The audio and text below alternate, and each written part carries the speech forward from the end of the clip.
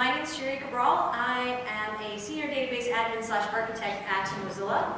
Um, you know, you can get the, uh, the information there. I have a blog at sheeri.com. You can tweet me at Sheeri. Um, and also the slides for this talk are at bit.ly slash MySQL backup. So a lot of people want to know, are the slides going to be available? And the answer is yes. They're available right now if you want to follow along. So who am I?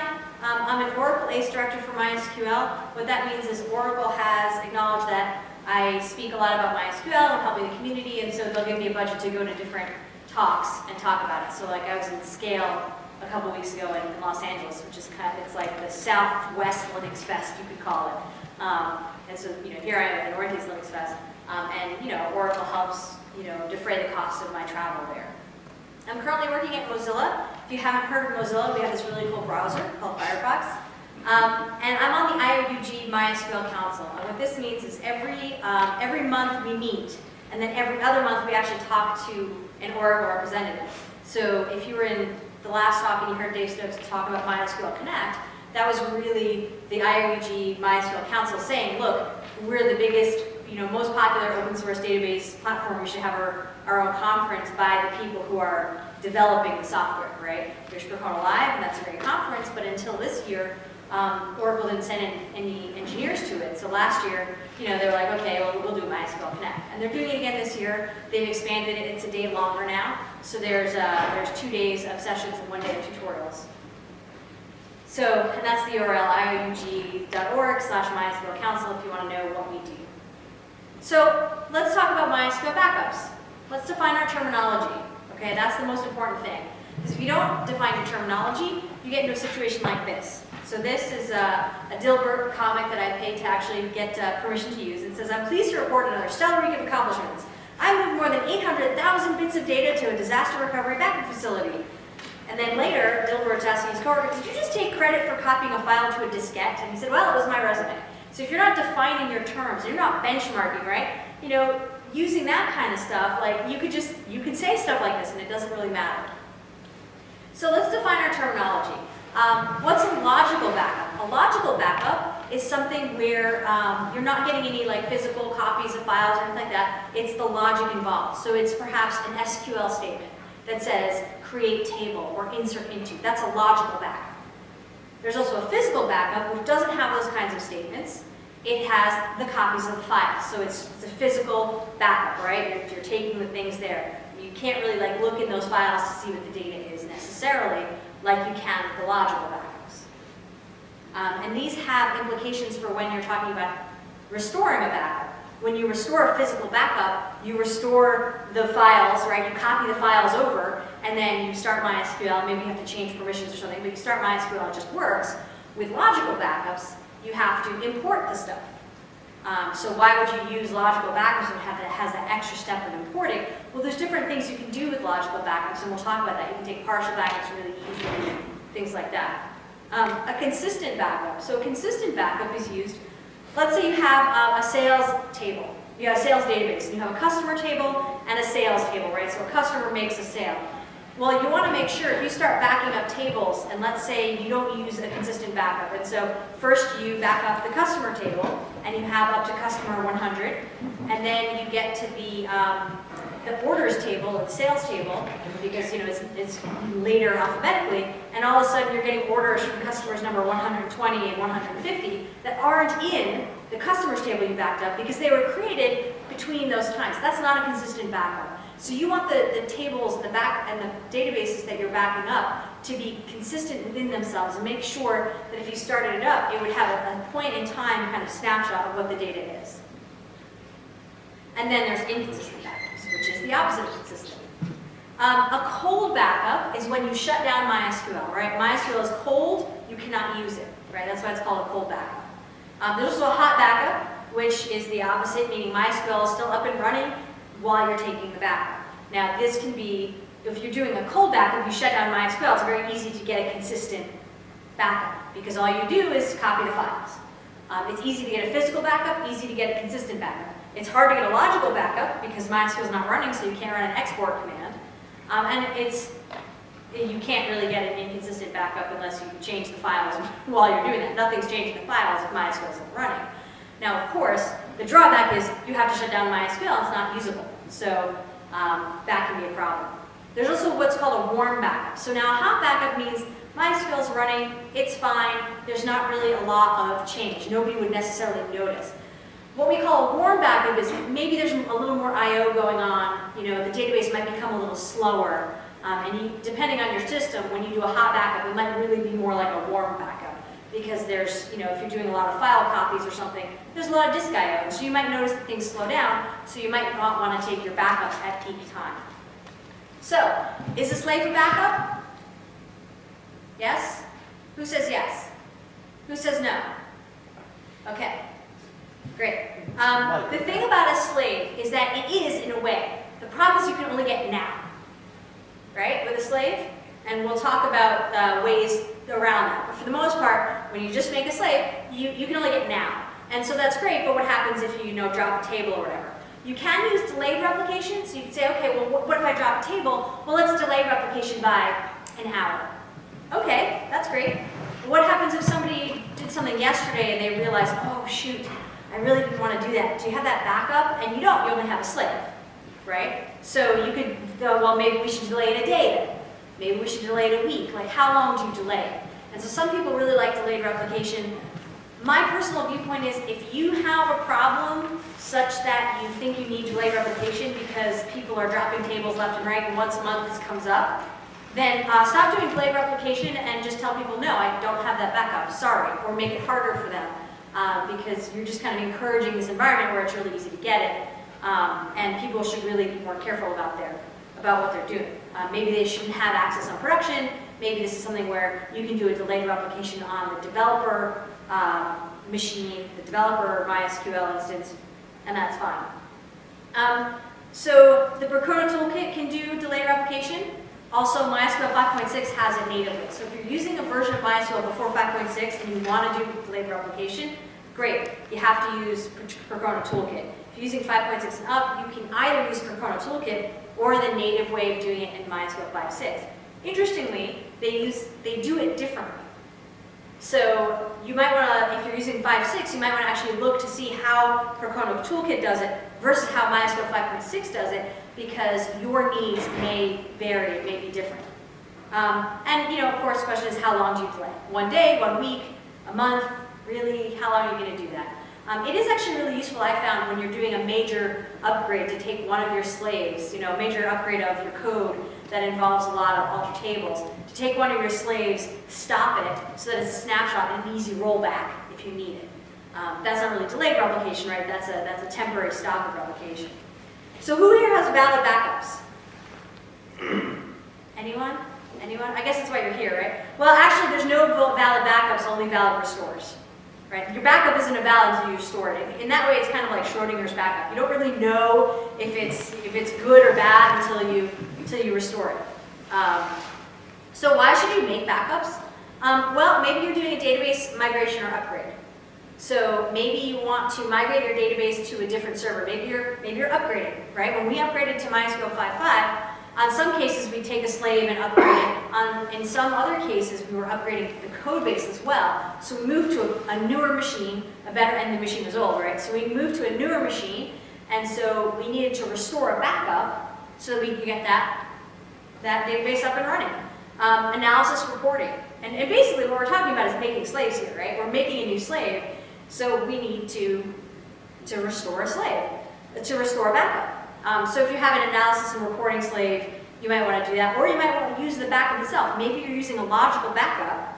Maybe you're exporting the data somewhere so that you can then do ETL and bring it up somewhere else in a different database, maybe a different database system altogether. Maybe you're using Netezza. Maybe you're using you know, something completely different to, um, to do your analysis and reporting. Maybe you're using Excel. Um, maybe archives. Maybe you need to archive your data. Maybe there's some kind of um, you know, governmental constraint that you have to like once a month save your data to make sure that if you ever get subpoenaed, you can get that data back. Um, and for recovery, if you have a disaster, right? That's what most people think about it as disaster recovery, but I can tell you, knock on wood, I haven't had that many disasters, um, but I have had a lot of times where you need to make a slave. So what kinds of recovery can you be when you have disaster? What kind of a disaster can you have? Now I was making this list and I was just kind of like, okay, well, let, let me think of all the situations. So one user's data, right? Maybe you had a user and they said, I want to be taken out of your system, and so you deleted them, and they're like, oh wait, no, I want to come back. And can you restore all my settings? Because I was a customer for 10 years. You know, if you don't have that recovery, right, that's going to be hard to do, and this person was loyal for 10 years, left for a month and wants to come back, you really want to get their data from last month, if you can, because they were a loyal customer. Um, now, one of the things, the interesting things about this is, do you really want a physical backup of all your data, where you'd have to restore the whole thing just to get one user's data, or do you want a logical backup? Right? You probably want a logical backup if you just want one data. Um, if you have data corruption, I've seen this happen a lot, um, where you know a sector of a disk will go bad, or you know a block of a disk will go bad, and you get data corruption. You know, and it's only a couple of records, or maybe it's the whole table, or something like that. But you know, there, this can happen. Um, if there's data loss, same as data corruption, right? If the data is bad or not there, you may need to recover that. Um, how much data can you lose? So a lot of times, you're losing data and you don't even know about it. If you're not checksumming your masters and slaves, you know, in your backup at all, how do you know that it's the same as the stuff on the master? So, um, you know, I think Dave talked a little bit about this last time too. How much data can you lose? Um, and how do you track how much you lose? You know, how many of you have gone to, say, Facebook, posted something, you could have sworn you hit enter, you go back an hour later, it's not there, and you're not like, I can't believe Facebook lost my data. You're like, I guess I must have didn't hit enter, right? Now, how many of you have gone to the bank, taken out $100, and go back later and say, wait, I thought I could have sworn I took it out. That never happens, right? so it depends on what kind of, if you're a bank, right, you can't really lose a lot of data. If you're Facebook, you can lose a bunch of data. If you're Twitter, you can lose a bunch of data. It's okay. You know, if you're a dating site, it's okay to lose a little bit of data, right? You don't want to do that, ideally, but you have to go to your boss and say, how much data can we lose? And they're going to say, none. Really? None ever? Ever, ever? What if there's like a natural disaster? Won't people understand? Right? When Amazon's EC2 data center went away, people, people understand, like, okay, it's down and that stinks, but they would completely understand if there was some data loss or some, some problems. If it happens every day, right, they're not going to be so understanding. So really, how much data can you lose is a function of how much over time and how many incidents you have. Um, but, but you can lose more data than you want to lose. So who is responsible? Yes, question. Um, another consideration I'm a big fan of is not only how much you can lose, but how much time you can afford to have it missing.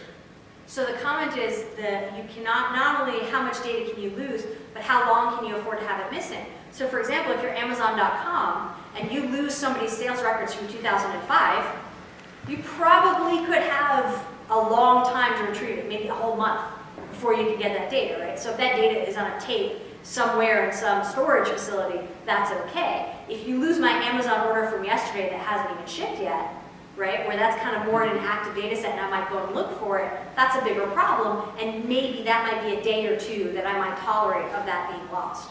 Um, so that's an excellent point. So who is responsible for making sure backups happen? Well, ultimately the head of IT whoever that may be, right? That's their job. It's under IT. And, ultimately the head of the company. But really, who is it? Is it the DBA's job to make sure the data is backed up? Um, is it the sysadmin's job? You know, maybe you're doing snapshot backups of your file system. And as a DBA, that might not be something you even have control over.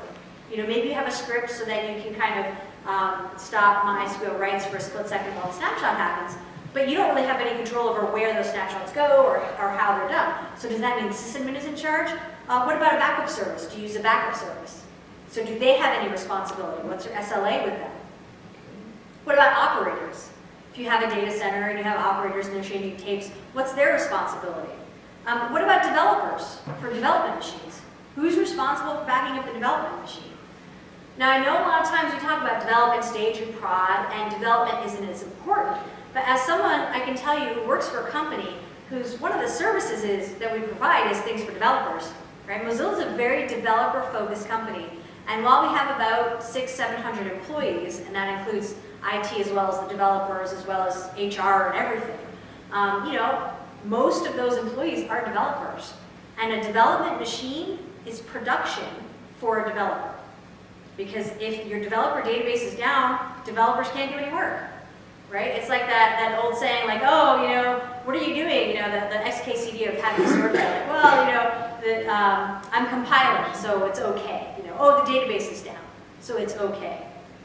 So what do you back up? Do you back some of your data or all of your data? Um, Dave was saying last time, do you really need to back up a list of the United States and their, their abbreviations, right? Because we haven't had a new state in about 60 years. So if you lose that data, that list of Massachusetts is MA and California is CA, you can get that back, you know? It's not that hard, right? But if you lose your private customer's order data, right? If Amazon loses that order data for you, that's harder to get back. You can't just find that on the internet. Do you back up the slave position? So if you're doing a consistent backup, there's one point in time, and if you're doing a backup on a slave, you might want to get that slave's position on the master, so that then you can recreate a new slave that also goes to that master, as opposed to going to that backup that you took. Um, do you record the binary log position? So if you're, if you're backing up on a master, you might want that position so you can have the, the slave that you're going to build go right on that server that you took the backup from. Um, do you back up any logs containing any commands? Do you back up your slow query logs? Do you back up your binary logs? Your binary logs are incremental backups because they have every single change. So if you do something like you take a backup and you take your binary log position, what if you want to restore to a point in time? Let's say you have someone who dropped a database and if you don't have a delayed replication, so you're like, okay, I can do this, it'll take a little time. You look in the binary log to see when that drop table happened. You restore up until the statement before that, and then you do a, a table export and import, you know, but you need that binary log. If you don't have that binary log and you just have one backup a day, well, it doesn't really matter that that backup is perfect and works fine, because you need up to noon, not 6 a.m. when you do the backup. So you can only get till 6 a.m. Now maybe that's okay, and again, that might be one of these things where you say, look, we back up once a day, and we don't keep binary logs. That's your decision, but know that you're taking that risk that if you actually need a point in time recovery, you won't have it. So um, these kinds of stuff get a whole lot easier in MySQL 5.6 um, with their different, uh, different replication tools, different backup, um, different backup tools. So, setting expectations. This is really, really important. Um, is, is dev backed up? How many people here back up their development database? How many people have a development database? Okay, so you guys aren't backing up your development database. Do your developers know that? Have they ever come to you and said, oh, geez, we really need this? No, you're kind of shaking your head like maybe they have and you had to, have you ever had to tell them, sorry, we don't have that? And they're disappointed, no? Well, you have it, you have? Yeah, well, we, we actually uh, replicate from production, so. Oh, you we replicate from production, so you Yeah. have backups. We trickle basically. down from prod too. Right, so you trickle down from production to development. So their expectation is that they will have a good working database. But, and you can fulfill that without taking backups, and that's great. But there, you know, before I came to Mozilla, there were a couple of databases that weren't being backed up, and I saw it, and I was like, well, we should back this up, because it doesn't take a lot of disk space to back it up. And it was, there was this one database that like three weeks after I started taking backups, somebody was like, oh my God, do you have this database? Because it would be so great if you did. And they didn't know if we had it or not. There was no expectation. And the expectation was, if you have it, that would save my life, and if you don't, well, then I have more hours of work. And for me, this was the ideal situation, right? The worst than ideal situation is when people assume you're backing it up and say, what do you mean you're not backing it up? You know, and you're like, you can point to as many SLAs or whatever that you want, but now this developer hates you for life, pretty much, right? Whereas if you can back it up and you can afford to do that, or you have some kind of way, then your developers, right, will hopefully love you because you can recover easily from any problem they have. If they drop a table, you can be like, okay, wait a little while, I'll restore a backup, it'll take a little while, but then you'll have that table back um, because you're restoring for production. So do you make it public, right? Some people don't make it public and then, you know, become the hero when they want. But that also means that if a developer assumes you're not backing it up, then you can't be a hero and they, you know, and they find out one day and they're like, oh, I never knew you were backing it up, I was doing all this work. Um, and again, will folks play fast and loose with their data if, if, the, if restoring a backup is easy, right? So this gets again to what I was talking about, delayed replication.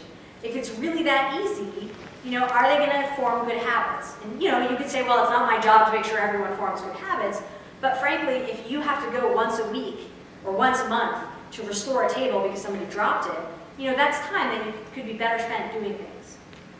Um, do you have automatic refreshes, right? So you pull down, you replicate from production, but do you ever refresh from production every now and then? Like we do that once a month on some of our things where we'll, we have a replica, uh, we have a replica, but then we refresh it once a month. Or we don't have a replica, we just refresh it once a month so it gets the most recent ones. Um, do you do it manually, but it, it needs, but it doesn't need you? So you, you have a button either that you press, or maybe somebody in, in dev presses. Maybe a developer gets to press a button to do a refresh, so that you're not even involved. And I say that not because I think you have that, but because I think it's something to think about and consider. If you're doing manual backups, where you're like, okay, I've got this scripted, and then whenever they come to me and tell me, hey, I need a, I need a, can you refresh because we just did, you know, major code push and things are different, can you refresh from production?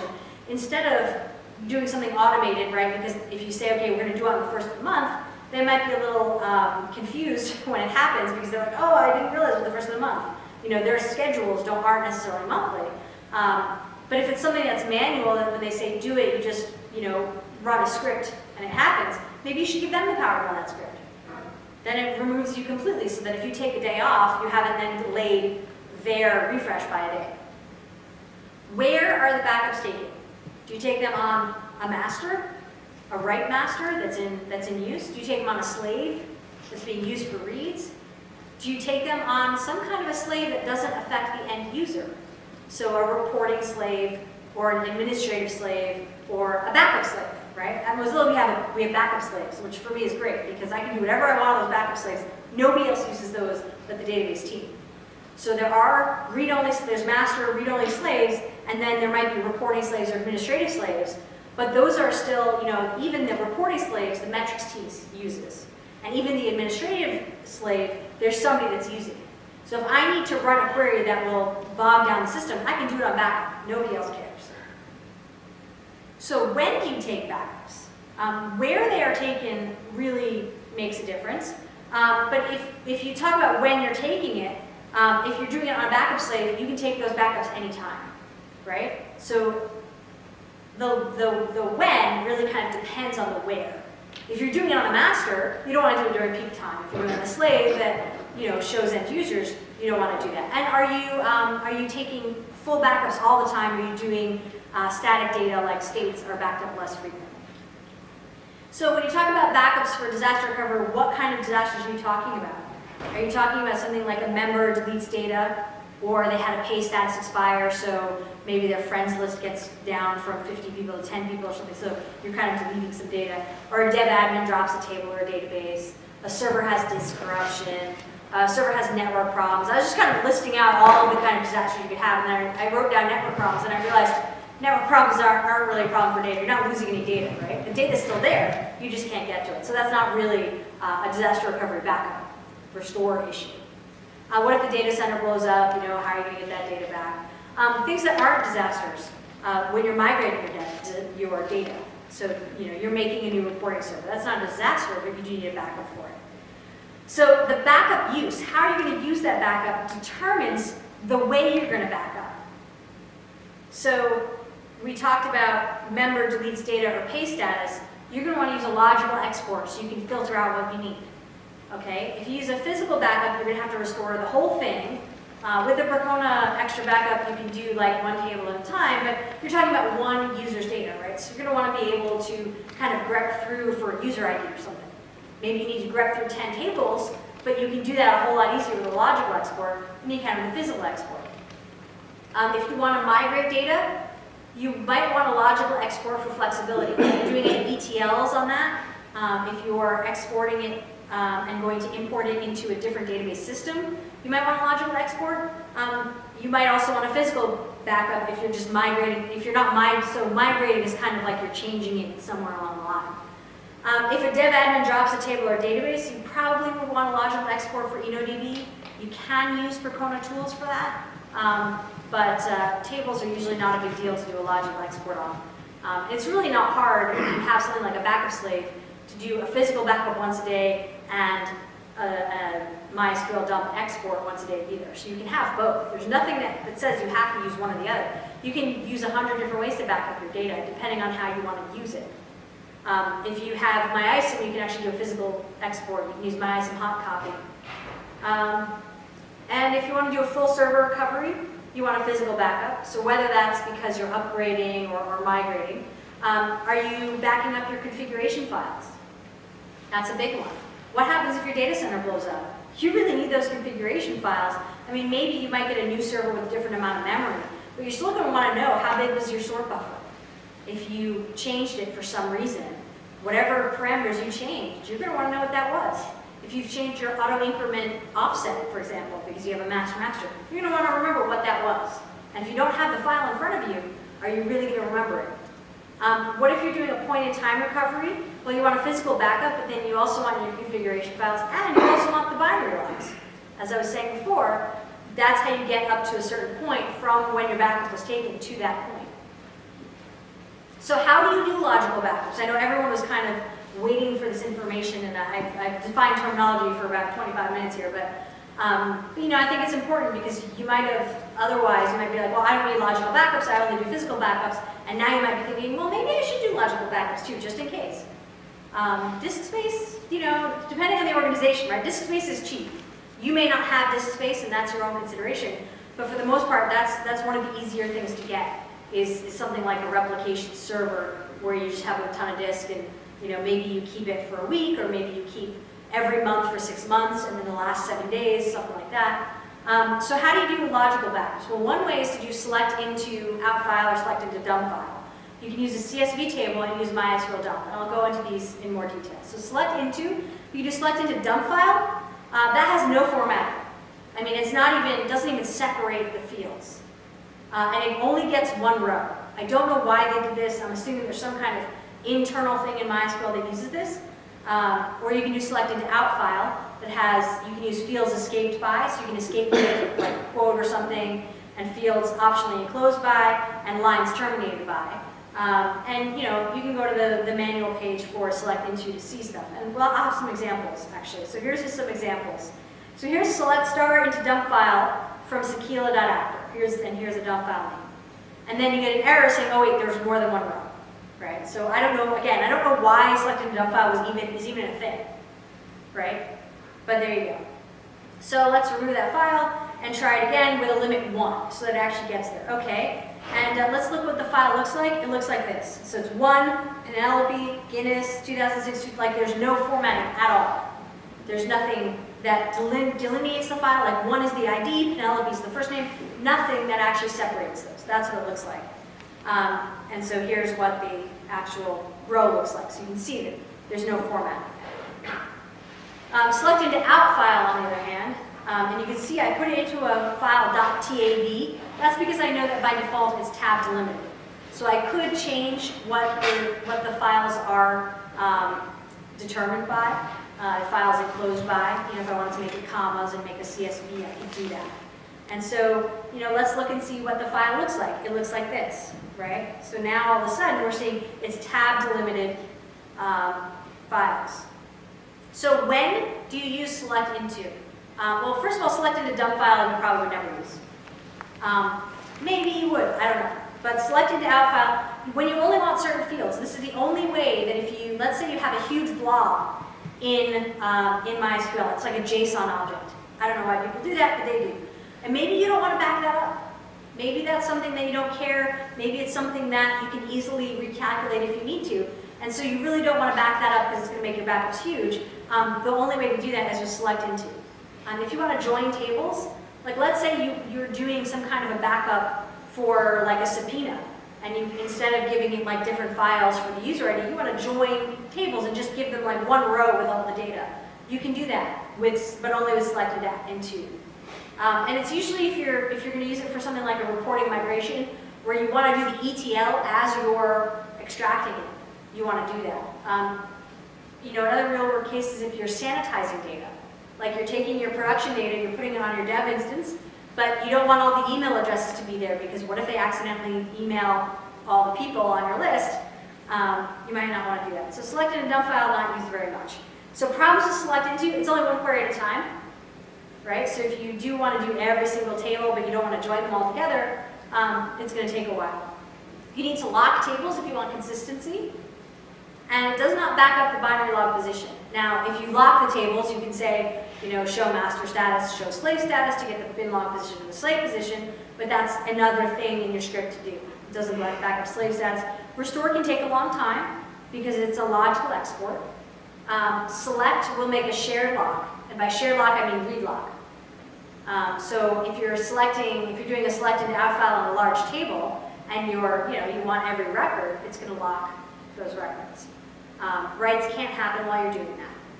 So if you restore from select and out file, or really any other data file, you know, you have to use load data in file.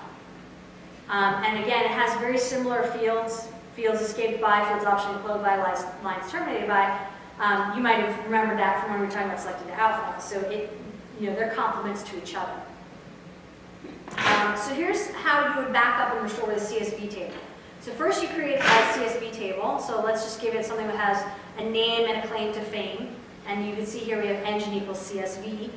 Um, and then we insert into the table a few values. So, you know, my claim fame is this talk. Um, Neil Patrick Harris is an actor slash magician, and Gerry Narvaja is in the OurSQL podcast co-host. So we have some data in there now. Okay? So let's look and see what happens in our data directory. What do we see? This test underscore CSV table. So we have a test CSV.csm, so it's a table definition file. We have the CSV itself, which is ASCII test, text, and then the FRM, which is the table definition file. So let's look at the CSV file and see what it looks like. Well, here's what the CSV looks like. That looks like kind of how you want a CSV to look like, right? So the benefit of using a CSV table is it's a hybrid logical physical backup, which means it's a physical backup because you copy the CSV file, but it's actually uh, it's a it looks like a logical backup because it's a CSV, but you don't need to you don't need to load it in. The way that you load it in, quote unquote, is by copying the files around. Um, so you can copy the CSV file. It's a low impact to the server because you're not doing all those inserts again. Um, and there are multiple ways to uh, restore things. So you could use a load data in file if you really wanted to. So the gotchas with using a CSV table is that CSV doesn't actually support everything. Um, there's no auto increment primary key, for example. So I wouldn't say use this on all your tables. Um, you can only do one table at a time, just like selected to. Uh, I'm sorry, not like selected to because there's no joins. Um, and the logical import, if you decide to do it, can be tedious. And the physical import still requires the test table. So let's take a look at how to restore a CSV table using a physical file. So first you have to create the table. So let's create table test2 CSV with the same things, varchar 50 not null. Uh, so we create it, and then we copy, so this is me, I did it like on my local machine. I went to my data directory, I copied the test CSV to test2 CSV, and, uh, and then you start it up, and you look, then you can look at it. And you can do that while it's running. Any questions about CSV? All right. So let's talk about MySQL dump. MySQL dump is really what most people use for a logical export tool, and it's, it's the workhorse, I yes. have one, and I've never run into it, but it just occurs to me. What happens if your data has a comma in it? What happens if your data has a comma in it? Um, that's why it has fields enclosed by, right? So if you see, when we go here, you can see that Sheeri Cabral is in quotes, this talk is in quotes. Because it's enclosed by quotes, if you have a comma in your data, like it was Sheeri, comma, Cabral, it knows that it's enclosed by it. So, and then the other thing is you can, you can test it yourself too, with this kind of a simple And- example. And there's a mechanism for quoting quote marks, so you can't. Yes, quote you can escape, it it will escape quote marks and it will also escape uh, nulls with a backslash n. Did you have a question? Same question. Oh, okay, great. Um, MySQL dump is pretty much the workhorse. Um, it has a lot of flags to it. I'm not going to tell you about every single one of them. I'm going to tell you about the ones that I found most useful, and I think most people do. Um, dash dash fields terminated by. So again, if you really want a logical export and you wanted some kind of like CSV format or something, you can do that with MySQL dump. You just cannot change which fields you're using. Right, with select into, you can select three of the 10 fields. Right? If you're using MySQL dump, there's no way to change which fields. You're going to get every field in the table. But you can use fields terminated by, fields to be closed by, fields optionally closed by, fields escaped by, and lines terminated by, if you really want.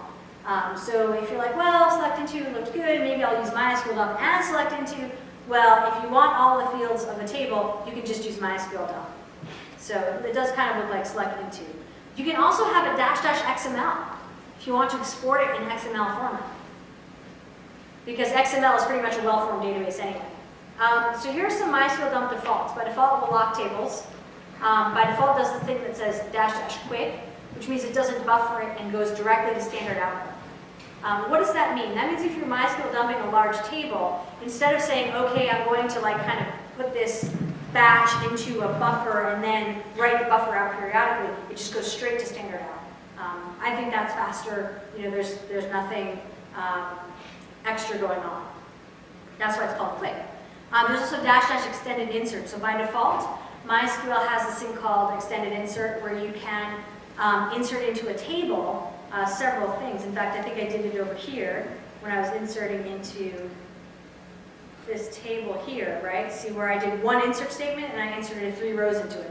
That's an extended insert, right? I didn't have to say insert into the table these values. Now, the second statement insert into these values, the third statement insert into these values. Just it's separated by a comma, all the values, right? You put it in parentheses and separated by a comma. That's an extended insert. Um, so by default, that's what MySQL dump will do. So with MySQL dump, you can choose what to back up. Now, you can't choose what fields to back up, like I said, but um, you can choose what databases and tables to back up. So if you want to back up one table at a time, you can loop through and say, okay, MySQL dump DB table, you'll only do that one table in that one database. You can do dash dash all databases, which will do all tables, all databases. You can do dash dash databases with a comma separated list. So if you want to do dash dash databases A, comma B, comma C, you can do that. You can do a list of tables too if you want. You know, you just, you, you have seven databases and they all have the same tables in them because maybe you're an ISP and so every customer gets own database but it has the same tables in it. Um, you say, well, I want to export this table name from all of the databases. Um, you can also do events, routines, right, store procedures, um, triggers. MySQL dump output, um, you can actually just say, you can say dash dash result file. Most people just redirect to standard output with a, with the greater than sign. So you basically do MySQL dump, say dash dash all databases, and you can say dash dash result file equals foo.tar or foo.sql, for example. Um, or you just do greater than foo.sql. Dash dash master data, um, that will give you the master position. You, there are different options for this, so by default it's not on. You can set it to one, which gives you the, uh, the binary log position, and if you set it to two, it'll comment out. It'll give you the binary log position, but comment it out. Um, because again, this is something that you're going to import. It's an SQL, it's a file of SQL commands. So what you end up doing is you import it, and so if you have that master data, and you have that change master to in it, it's going to change it at the end of the file. You might not want that. So if you want to comment it out, we say master data equals to 2. Um, you can say dash dash dump slave, which is similar to master data, except it shows you the slave position. MySQL dump tweaks, um, there, there are a bunch of tweaks that you can do. Dash dash no create info won't give you the create info for tables. So if you're doing something like you just want to look at the, the data, you can do that. Uh, if you don't want the data, you, want you just want to compare schemas, for example, you do dash dash no data. Um, you can also do insert ignore. So by default, the MySQL dump will do a create table statement, and then it will insert the data with insert statements and the extended insert. But maybe you have something where you're just like, well, I just want to reinsert all this data, but if it's already there, I don't care about it. Right? As a primary key, you can actually say dash dash insert ignore, um, and I think there should be a dash between insert and ignore there. And it will, instead of making insert into, it will say insert ignore into. Um, you can also do the same with replace. Instead of saying insert into, it will say replace into. Dash dash single transaction will do the whole thing as a single transaction. Um, so if you're using InnoDB or transactional storage engines, it will actually you know, start a transaction and do a MySQL dump. This is a way of getting a consistent export without really having to, to actually just lock everything. You're doing it as a transaction. If you want to restore, like I said, you just import it. You can do MySQL less than backup.sql, um, or you can import text files as you do with select into. So if you're doing, um, you know, you can do a whole bunch of things where the fields are enclosed by this, and you know, if you if you export it that way, then you can import that way. So what are some gotchas about MySQL dump? Uh, lock it, right? So by default, you, you lock things, right? Because it has the table locks by default. And when it's doing a select, because that's what it does, if you actually look in the process list, it's doing a select uh, from the tables. So by default, it, you know, it will do locking, you know, it's, it's, it's a, it's a hot backup, but it's locking some of the tables. So we call it kind of a lukewarm backup, right? It's a warm backup, but you're kind of locking the tables, so you can still read from it. Um, and logical imports take time to import. Physical backups, right, are a file copy. Um, the most popular way to do it is XtraBackup, which is from Percona. Um, it is a free open source tool. Um, and there's also MySQL Enterprise Backup, which you pay for. Um, and there's other things like CMAN and things like that, but you know, there's only 20 minutes left of the presentation, so I don't want to, well, actually probably less than that, because in 20 minutes the next lecture starts. Um, so, file copy, let's talk about that. Uh, it's a cold backup, so you shut down MySQL, copy the files over, and it'll work. The cool part is if you have a backup on one operating system, usually you can move it to another one. You can take a Windows backup and move it to a Unix file system, and it will work. Um, the way to know if it works or not is, is if it's the same endian. So if both machines are little endian, it will work. If both machines are big endian, it will work. If one is little and one is big, it won't work. Um, but pretty much, um, I've never, I've, I've done this before where like sometimes I accidentally blow away the MySQL directory and so I'll just copy, you know, a new one from, you know, my laptop. And, you know, they're different platforms and it's okay. So that, that's pretty cool that it will just work and you don't have to worry about that physical file copy. Yep. That's an interesting thought, but how do you know? How do you know if something's a little endian or big endian? I don't know, I've just tried it before. I mean, when, you know, in your organization, how much are you really changing between vastly different things? It's not SPARC or PowerPC, you're fine. If it's not SPARC or PowerPC, you're fine, he says. I'm sure you can look up, how do I know if my system is little endian or big endian? So, You can have a, a file on backup, often files will report anything. the, the tool file, if you do like file backup.sql, it will, or backup dot whatever. But there's other file commands that reports it. Yeah, it's sometimes, he's saying it sometimes reports endianness, yes. Can you get around that by saying you're trying to do a, uh, do an import over netcat or Can you do that, can you get around that by trying to do import over netcat? No, because it's how, it's, you mean you're, you're, you're shutting down MySQL and just copying the file. So it's how MySQL stores the file on disk on the different endian systems. Um, rather, yeah, I, I didn't ask that well. What if you were to take a, do a MySQL dump, uh, stream it quick, netcat to another, to a, exported file system that resides? Right, so if you, if you um, stream a file that's, if you're MySQL dumping it, you can pipe that into a command to stream it. Um, MySQL dumps a logical backup, Mhm. so th- that works on anything. Okay, So if you're, this, now we're talking about just, we're talking about copying files, like the exact files in your MySQL directory. If you copy them, you can do that, um, but only the same endian to each other. If you're using a logical backup, anything goes. That's, that's one of the benefits, right? Because it's just the logic, right? If you're using something like um, selected data file or using MySQL dump to get a tab separated or comma separated values file, you can import that into Excel. You don't, it doesn't matter because it's just logic, right? So when you're talking about the endian thing, it's only literally copying the files over. If you're using other tools, um, that's, that's a different ballgame. So the thing about file copy is consistent because nothing is hopefully, when you shut down MySQL, hopefully nothing's changing the file system under, underneath. Um, and it's easy. All you have to do is copy. You know, you can rsync, you can, you already know what to do. You, if you're, if you've ever, you know, backed anything up from your home computer, you can do this, right? You shut down MySQL, you copy the files however, and you do it. Maybe you're copying locally, maybe you're copying it remotely, but you're doing it. Um, so how do you do it? You shut down MySQL, you copy your archived files, maybe do a tar instead of copying, um, and then you start MySQL. Boom, you're done. Um, and which files do you copy or archive? Maybe you also want to copy the master.info file, which has information on the slave position. You might want to also copy some binary log stuff. I mean, it's up to you. So the problem is it requires shutdown. And you can't just do this on your write master, you know?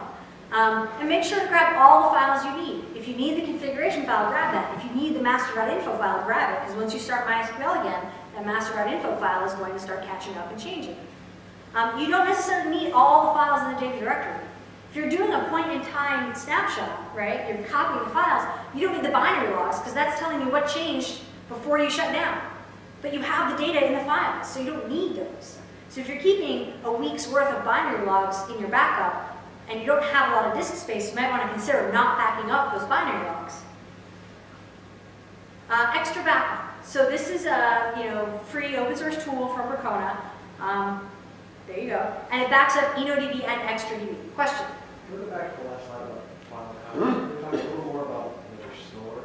Or are you, going to? Oh, you want to talk about the Uh, restore? How do you restore from file? copy? Well, How do you restore from file copy? Great question. I don't know if I go back, go into that. Um, I think I don't because the, the restore is you copy it to a new data directory, maybe on a new server, and then you start up MySQL. That's one of the advantages that's really easy. Just copy and place and do it. So XtraBackup, you usually use an innobackupex wrapper script because XtraBackup will, co- will do copies of InnoDB or XtraDB, but um, a lot of the file, uh, a lot of the system tables and databases are my MyISAM, so you still need that kind of component. It's based on the older InnoDB hot backup. Um, it's a warm backup.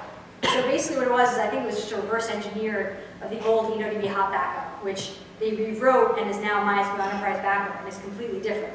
Um, this is a Perl script and, and, and you know it works great, um, but the new MySQL Enterprise Backup is actually written in C or C++ and it's more native than, than this was. So how XtraBackup works. XtraBackup is a physical backup. You can stream or copy to a remote host directly if you want. So one of the things about a physical backup is if you have 100 gigabytes and your database is 75 gigabytes, you can't just make a local copy unless you're doing some compression. So with XtraBackup, you can stream it directly to another machine. And I do this all the time. If I'm making a new slave, there's no point in me making a backup of, of you know, an existing slave and saying, okay, now copy it over. I can stream it directly. And you can use Netcat to do that if you, if you don't want the SSH overhead. You can do full backups. You can also do incremental backups. Um, I usually don't bother with the uh, incremental backups of XtraBackup because I just copy the binary logs, but it can be useful if you only want to use one command, or if you want to have you know, a set of scripts that use the same toolkit, um, it can be really useful to do incremental backups with XtraBackup. You can backup or restore individual partitions. You can backup or restore individual databases or tables. Um, and you can do it by regular expression, which is pretty cool.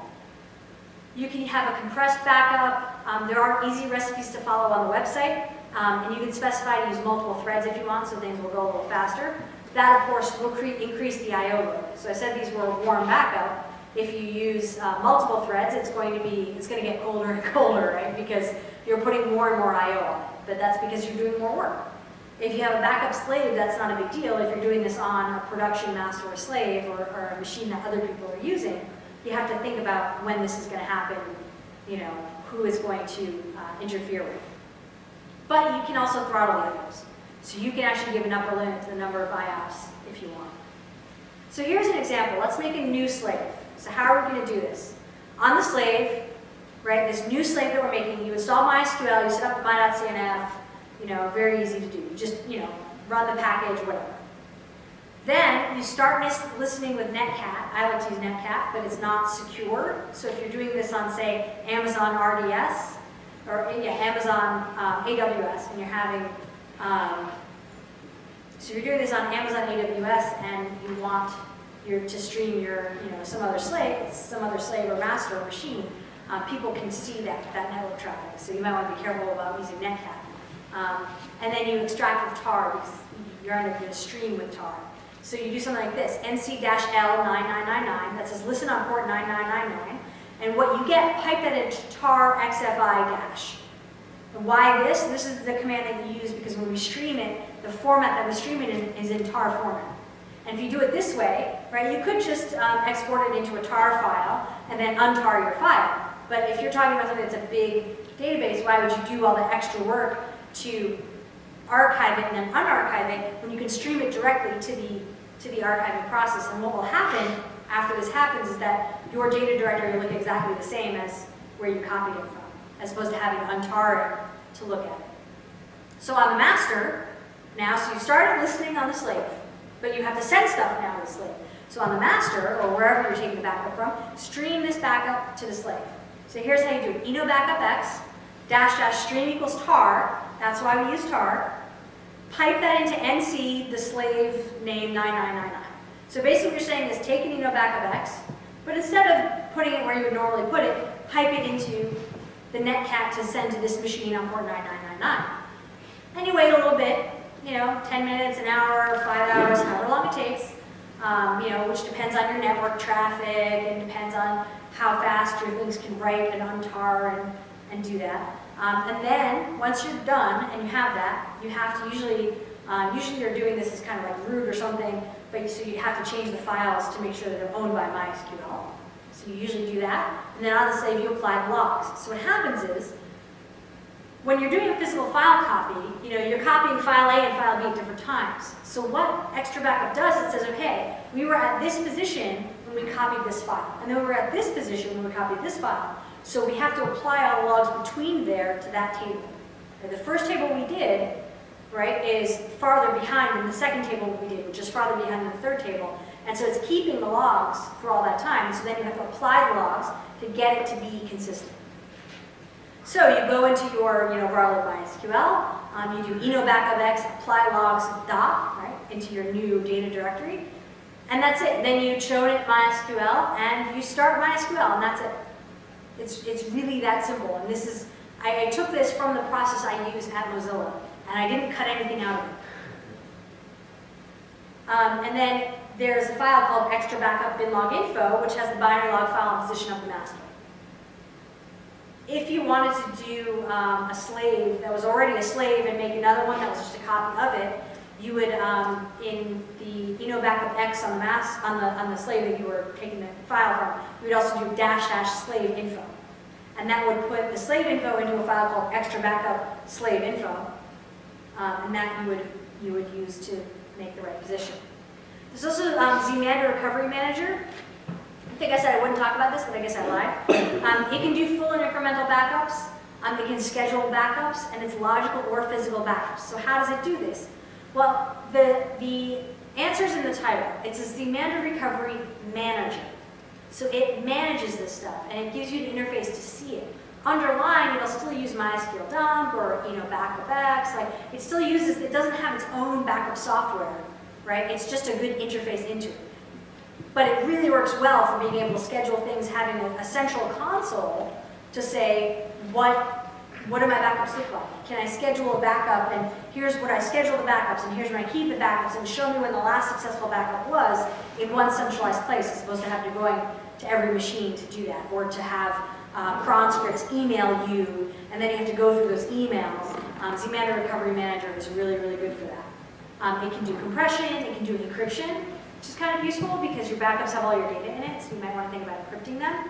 And then it can notify you via email or you know some kind of RSS feed. So you can subscribe to the RSS feed and look at it once a week to see what it's like, as opposed to those emails which happen you know at once and then you end up shoving off to some other folder.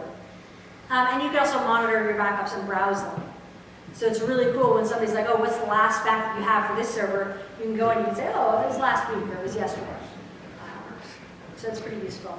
You can define retention policies. And you can do a full recoveries or point in time recoveries. You can do binary log management and parsing right through the recovery manager. Um, and the recovery manager has, there are some, some features are free and some, there's a community version that has some free features and then there's an enterprise version where you pay for some features.